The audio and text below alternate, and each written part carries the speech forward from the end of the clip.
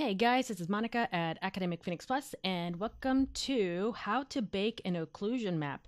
So in previous tutorials, we have gone over how to assign occlusion and even drive textures with occlusion, but sometimes that can be very limiting. So I want to show you how you can export your occlusion map as a texture so that you can manipulate it in Photoshop and create some beautiful textures. So let's get started. This is our regular scene, and what we want to do is select all of our objects, right click, assign a new material, and we're going to add the Arnold AI Ambient Occlusion.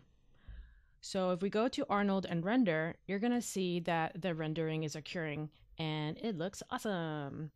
So press play so we can get a little closer. So the great thing about occlusion is that it gives you a gradient based on how close two objects are. This is fantastic when it comes to contact shadows. So for example, this crevice here is darker because the light that you don't see is being emitted and not enough light is going in here so therefore it starts to get dark. And if I go a little closer let me go closer to my frame here You can also see that it's really dark under below and also under the frame. So it gives us some really nice contact shadows. That's why occlusion is so popular. So what we want to do is take this information as a map so that we can texture it. This is very handy, especially if you're trying to create texture maps, but also if you're going to export them into other engines such as Unreal it actually has an, an occlusion node that you can attach it to, or you can just put the occlusion on your textures so that it has a nice gradient color. So there's a multiple purposes as to why you would want to export ambient occlusion.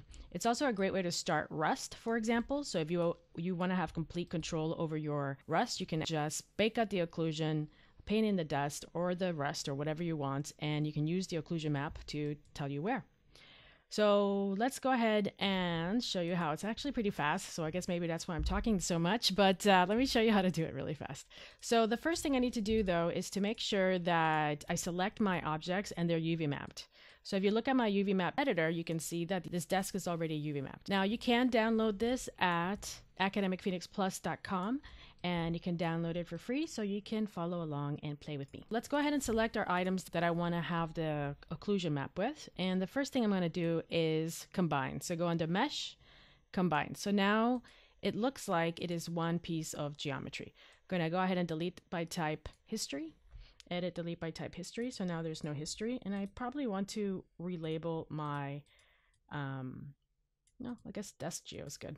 We'll just leave it as desk Geo, and these guys will just leave alone for now. We're just going to work on the desk today. All right, so under Arnold, there is a handy thing called Utilities, and we are going to go under Render Selection to Texture. Now, I'm going to browse, and if I set my project, it should take me to my desk images, and I created a folder already in advance, and it's called Baked Occlusion. I just like to keep things separate because I know that it can get a little busy, so I, I want to make sure that everything's separated. So I created a folder called Baked Occlusion, and I'm going to select it. The next thing I want to do is the resolution. Now, 512 is really small, it's the size of like a stamp. So I would go for 1024 if you want something basic, or 2048 if you want higher quality. Um, I'm going to do 1024 because otherwise the occlusion is going to take forever. Let's see, the camera shape, you do want to increase your values, even if it's just a little bit. The noise in here is going to cause some issues. So you don't, you're going to try to avoid as much noise as possible. And the way to do that is using increasing the samples. There's a couple of other things that you might want to play around with, but I'm going to leave mine at Gaussian and leave everything at default and just go ahead and click render. So it's going to start thinking really hard. And if you could hear my computer, it's really chugging. It's taking up all of its theoretically all up. Oh, there it goes. And that wasn't that bad. Back in the day, guys, back in the day, that would have taken forever. But now, thanks to Arnold, uh, it's awesome. Okay, so if I go to my images and I go to my baked occlusion, you're going to see that it has an EXR file. I'm going to double click on this. It's going to open up Photoshop. EXR is one of the highest quality images that you can have. Uh, you can choose as transparency or alpha channel. I'm just going to go ahead and choose transparency, and here we are, our occlusion. It looks just like our occlusion render, except that now it is laid out as a map. So this is the interior of the desk. This is the cool part. This is where the frame actually stands. This is where the laptop and the lamp is, is uh, located. So you can use this to add extra things if you want to. Uh, you can add a little dust. It's up to you what you want to do with this map, but it has some really great information. The brighter areas means that this is the top, and the darker areas are the ones that doesn't see that much light. The nice thing about this is that I can take this and put drip maps right here if I want to, to make it look rusty. I can go around the edges and use the occlusion to uh, add dust or dirt.